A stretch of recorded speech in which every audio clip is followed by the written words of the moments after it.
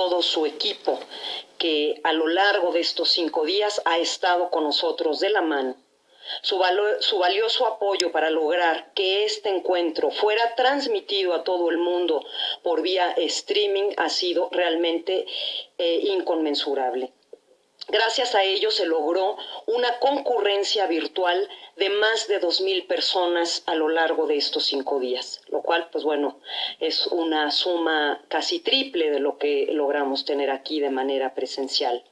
Además, se contó con la participación de distintas instituciones que desde diversas sedes remotas en España Colombia, Ecuador e incluso en el interior de México y de otros países de Iberoamérica, nos han seguido durante estos días. Un cordial saludo a todos ellos.